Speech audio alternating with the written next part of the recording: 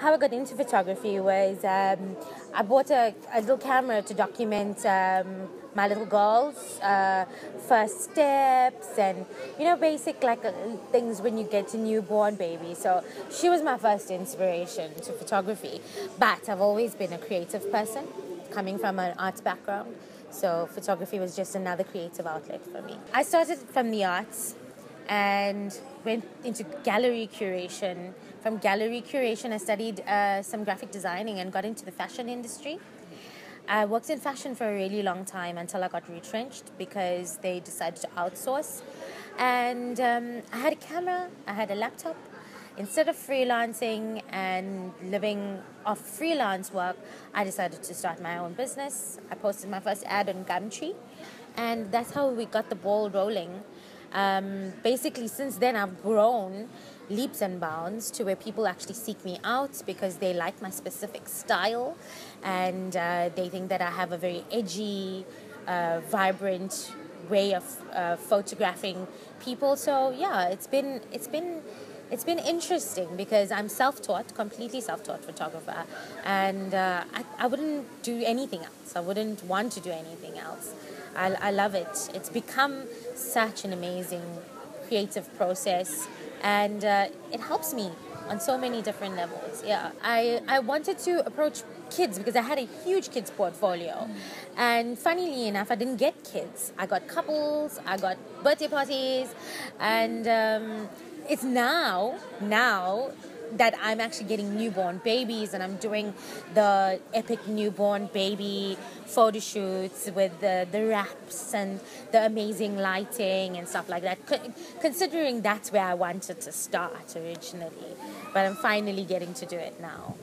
The thing is, maternity has become uh, it has become a very trendy thing to do to have a maternity photo shoot and to document that stage just before baby is born but people want something new, something trendy, something that no one's done before. So I offer people themes, and we've done Japanese themes.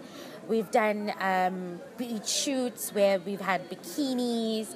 I mean, I've, I've taken it to a whole new level because I love being edgy. I love pushing the bounds. Little bit of controversy here and there, but I think that's what gets people talking. That's what gets people's blood pumping. Yeah. I, keep a door opened, I find that allowing a person to give me whatever their ideas are and also giving them ideas. Sometimes a person will come to you as a photographer and they'll have no confidence whatsoever because they want to do this, they just don't know what they want.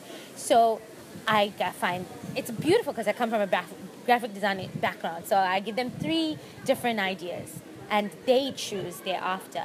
But my relationship with them grows through communication.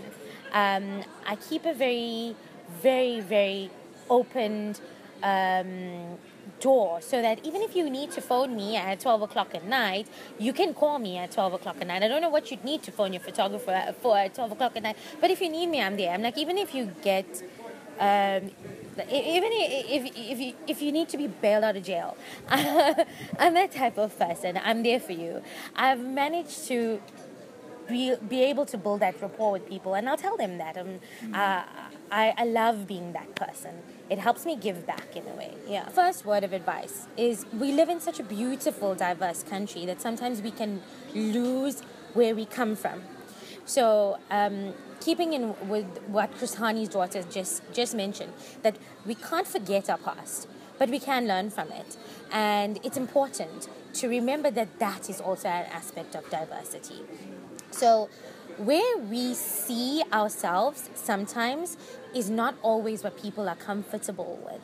So, I believe that we can be so much ahead of the curve, but we can also at the same time learn to understand that people are afraid of where we want to go sometimes. So it's a matter of just understanding that we need to embrace our our current position in the world and keep it local, local keep it lekker, and let everyone be within your grasp and your range.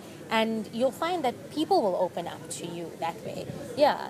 Um, I think that's the most important learning curve I've had, is that sometimes I'm so ahead of the curve. But persistence, I've had times where I want to throw in the towel. So it's just like losing weight because that's been my big journey as well. So it's persistence, persistence, persistence, and um, never forgetting what you want to achieve. And keep your goals realistic. That's another thing. So um, look at it from a point of view where, where you can see yourself actually achieving it. Don't set uh, huge goals for yourself. Um, because you'll never ever get there, and they'll just seem so so intimidating. Yeah, I think I think sometimes um, where we can be is as simple as accepting that everything is free.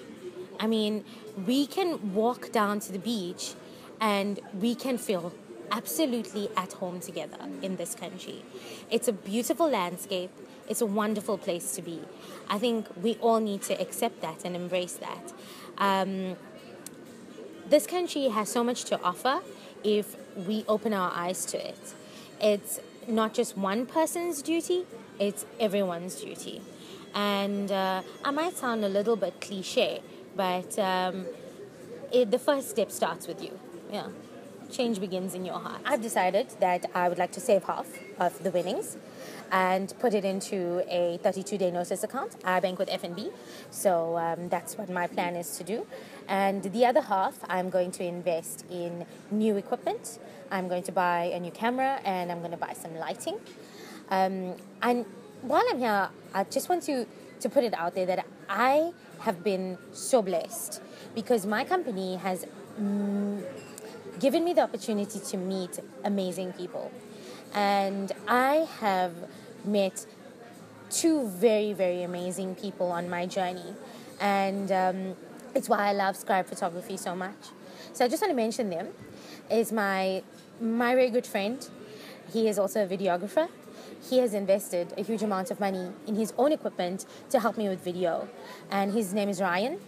And another person is my bridal stylist, whose name is Joe, and he has actually put together now it would be four style shoots, completely mm, with every ounce of the style shoot, every part of the style, he styled it completely free of charge, and we've done these shoots together, and um, it's been major, major, major influx of interest in my company because of the two of them and I'd really, really, really like to to thank them. And you know, that it's another thing. It's, it's diverse. It's so diverse because um, that's that that is what people have brought to me and shown me that you know it's real. It's really happening. Yeah.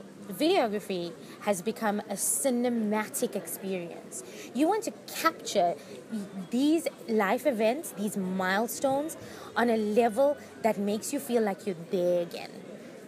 That is where Scribe Photography is taking videography. We, uh, we want to be part of your event. We want to make you feel like you can hold it in your hand again. And people need to realize that this is what videography has become about. It is really, truly a an experience where we recreate your day for you. So yes, video has become such a pivotal part of it. And it really, really is an important aspect of any milestone, especially a wedding, a birthday party, whatever it is. Yeah.